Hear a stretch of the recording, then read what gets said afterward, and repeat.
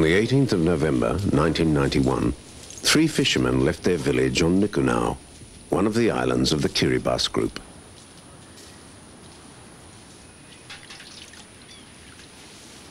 It began as an ordinary fishing trip.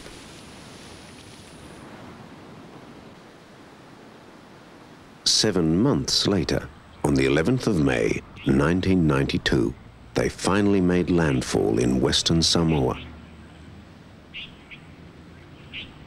They had run out of petrol, and strong winds had swept them out to sea. The ordeal that followed, in an open boat, exposed to the elements, is one of the great modern epics of survival.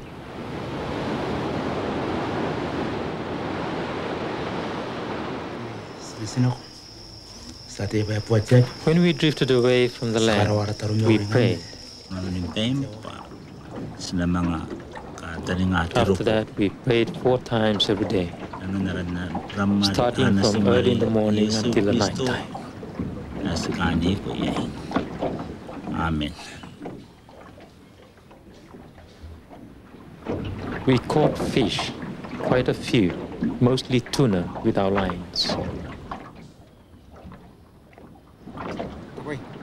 We ate them raw.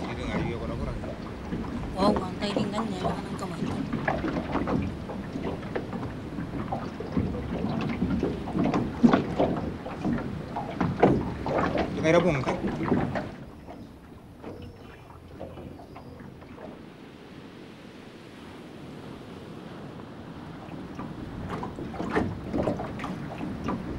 was the hottest time of the year.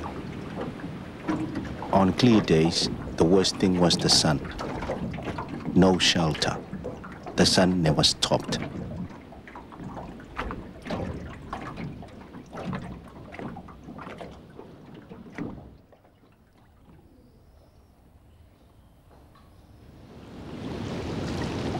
I think it was after two months. We saw something floating in the water.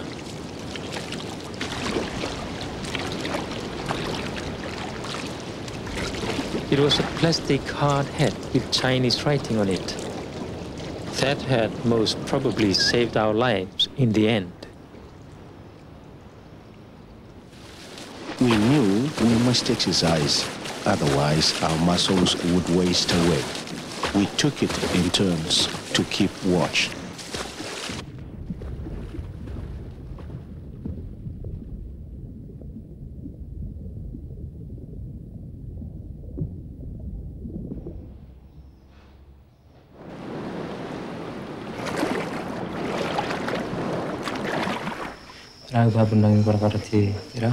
After three months of drifting, the sea was very rough.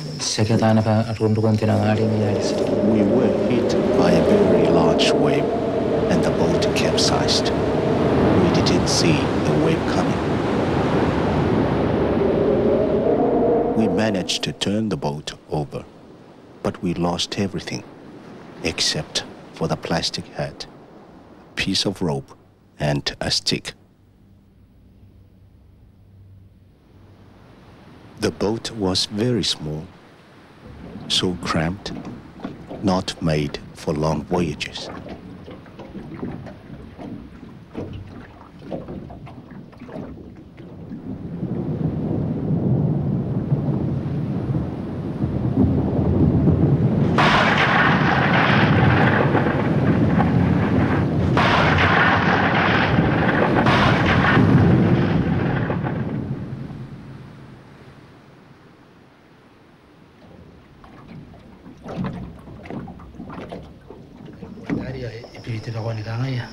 After we lost everything in the capsize, we used the rope to lasso sharks.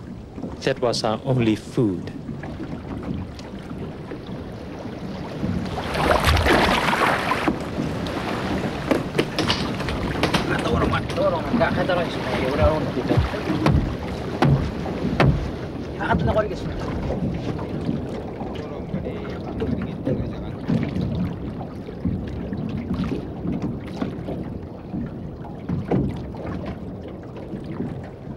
We always ate the liver first. Then we drank the blood of the shark.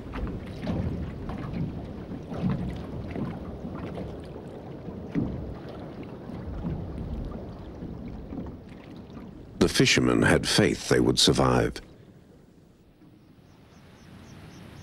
In the village of Tambamatang on Nikunau, their families never stopped believing that they would return.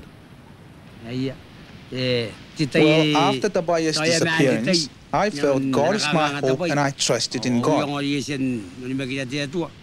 There is a custom we call Tawanmui, to hold, save something. It is a symbolic link with the absent person.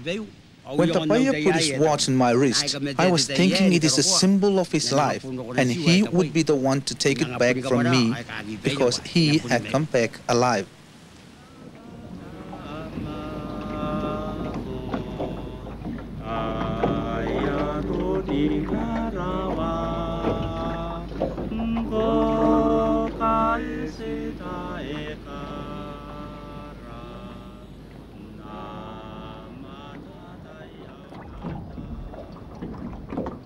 Our friend got sick. He was starving. His feet swelled up. Then his legs. Finally, his whole body was swollen. One morning, he was very weak. He died in the afternoon. We kept him with us for one night. Then we put his body over the side in the afternoon.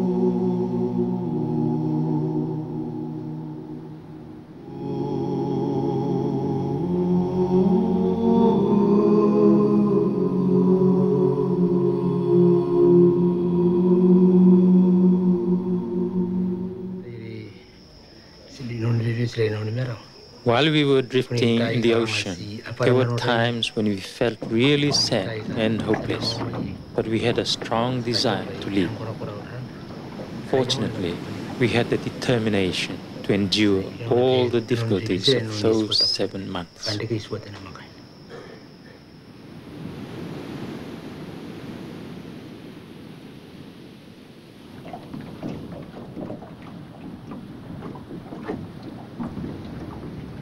In the last two months, there were no sharks to catch, so we had to live by drinking rainwater. No food.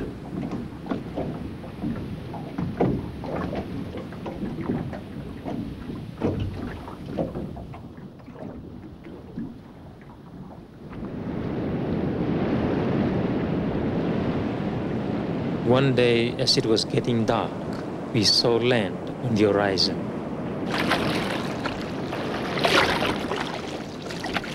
We were very weak by then, but we started paddling straight away with the hat and the stick.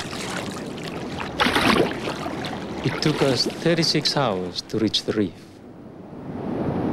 Then we got stuck on the reef. A big wave washed us into the lagoon. We knew we were safe. Then we remembered to pray. At last we reached the beach.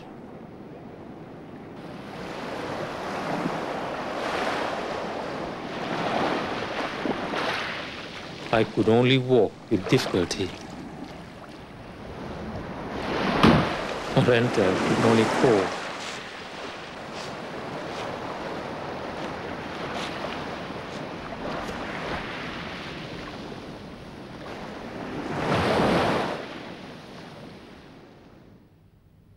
The epic journey of the Kiribati fishermen was soon picked up by the world press.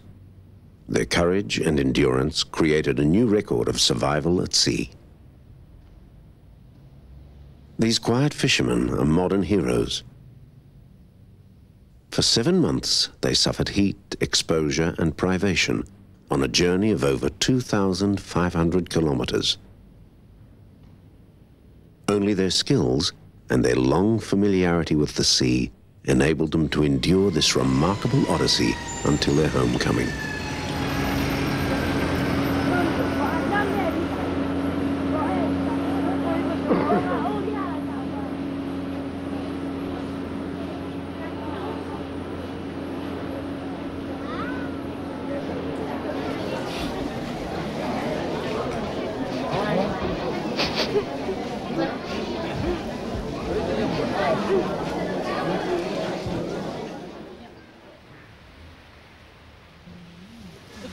The two Kiribati fishermen and their families who waited are true traditional sea people of the Pacific. The fishermen had the instinct to become a living part of the sea, to accept without resisting the flow, the drift, and the currents of the ocean that would finally bring them home from this longest such journey on record.